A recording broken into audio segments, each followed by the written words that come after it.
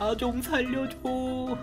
형 기다려. 내가 구해줄게. 응이 반갑습니다 여러분. 오늘은 놀랍게도 같은 판에 말이 두 마리나 있습니다. 왠진 모르겠지만 굉장히 신나 보이는 우리 팀원들.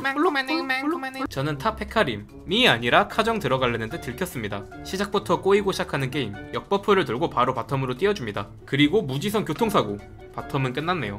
mid도 뚜벅이 럼블입니다. 저는 일단 달렸죠. 그리고 대충 박아버리고 뺐어요. 이러면 럼블이 기분이 상당히 안 좋을 겁니다. 제 기분도 상당히 안 좋아졌어요. 병신아. top 바위게를 먹으려는데 이미 우디르가 치고 있었네요. 우붕이 쉑 leash 머신이죠? 우리 팀이 합류가 더 빠르니 저는 안 죽을 수 있습니다. 뭐야 쉔? 이거 안 보였는데. 아까 복수하러 가고 있습니다. 이번엔 궁을 먼저 박아서 공포에 걸리게 하니 럼블이 정신이 혼미해졌는지 궁을 이상한 곳으로 깔길래 Q로 깔끔하게 마무리해줬습니다. 원래 초반 gank을 실패했던 곳에 나중에 강해져서 계속 가는 게 jungler들 국룰인 거 아시죠? 럼블이 쉑못 움직이죠?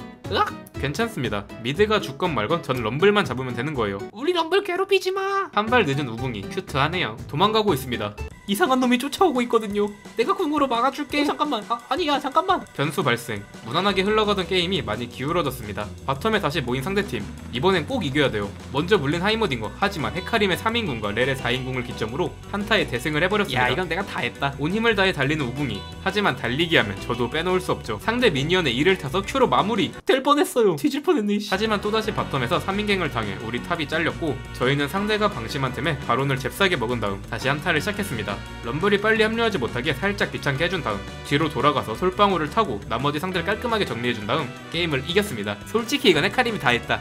쟤쟤